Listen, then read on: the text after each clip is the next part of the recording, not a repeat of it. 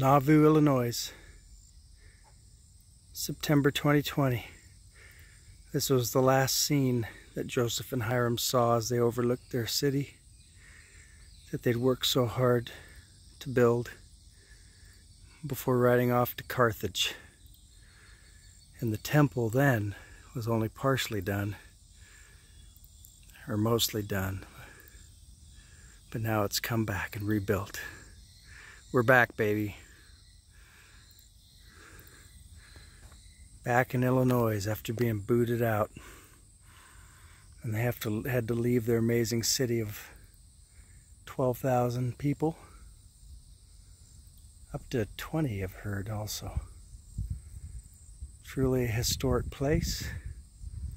It was an Indian American settlement before, long before the Mormons got here, but I don't believe there were any Indians here when they came.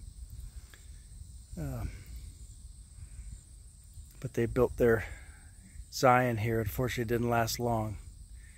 They got uh, harassed and by force of violence had to leave to seek refuge as religious refugees way out west outside of the United States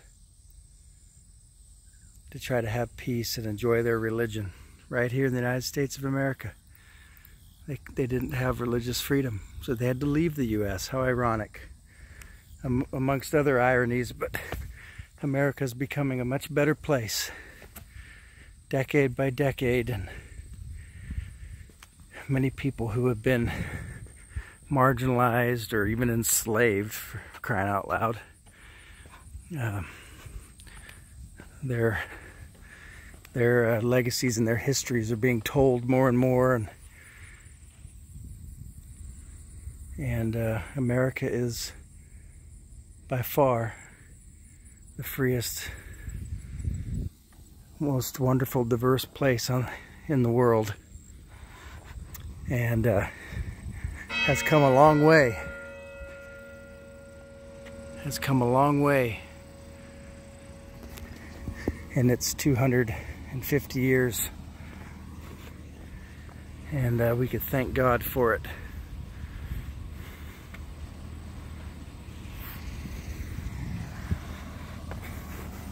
Awesome. Awesome heritage, awesome history. Amazing, complicated, interesting, but just it is what it is and we learn from it. You guys having fun? Nope. What?